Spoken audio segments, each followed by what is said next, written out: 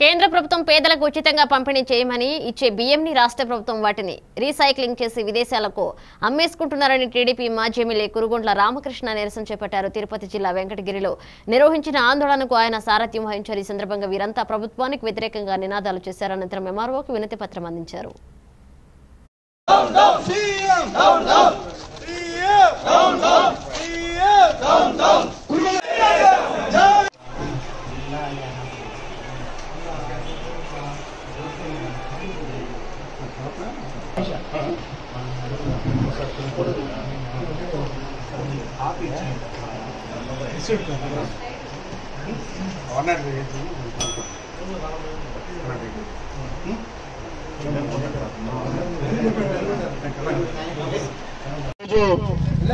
జాతీయ పార్టీ అధ్యక్షులు పెద్దలు గౌరవనీయులు మాజీ ముఖ్యమంత్రి ఆదేశాల మేరకు ఈరోజు ప్రభుత్వం చేస్తున్నటువంటి అరాచకాలు.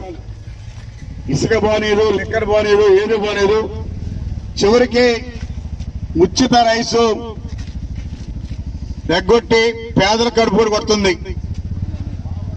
ఎందుకంటే కేంద్రం ఉచిత రైస్ ఇచ్చే డిసెంబర్ వరకు ఇవ్వండి అని చెప్పని చెప్పడం జరిగింది.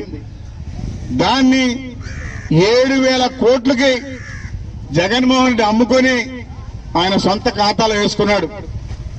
మరి ఆ రోజు పుష్కలంగా పండినప్పుడే పద్దెనిమిది లక్షల మెట్రిక్ టన్నులు ఎగుమతి చేస్తే పంట దిగుబడి లేదని చెప్పి ఈ పెద్ద మనుషులు ముప్పై ఒక్క లక్షల టన్నులు ఎక్స్పోర్ట్ చేశారు.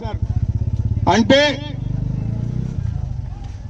పదమూడు లక్షల టన్నుల్ని ఎక్స్ట్రాగా ఎక్స్పోర్ట్ చేశారు. అంటే దాన్ని కూడా సొమ్ము చేసుకున్నారు. ఈరోజు కేంద్రం మంత్రి మాట్లాడే పార్లమెంట్లో మేము చెప్పినటువంటి ఉచిత బియ్యాన్ని ఆంధ్ర రాష్ట్రంలో ఇవ్వడం లేదని చెప్పని కూడా చెప్పాడు.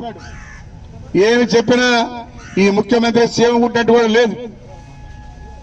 ఈ రాష్ట్రంలో ఏమైతే ఇస్తారో అదే రేషన్ ఇస్తున్నారు.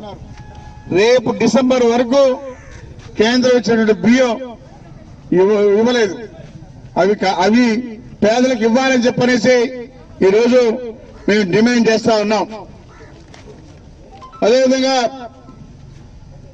ప్రతి ఒక్కటి ఈ జగన్మోహన్ రెడ్డి దోచుకొని దాచుకోవడమే కానీ పేదల కడుపు కొడుతున్నామని చెప్పిన కూడా ఆయనకి చేయకుంటున్నట్టు కూడా లేదు. కాబట్టి ఈ అరాచక పాలనని త్వరలోనే శరమగీతం పాడాలని చెప్పనేసి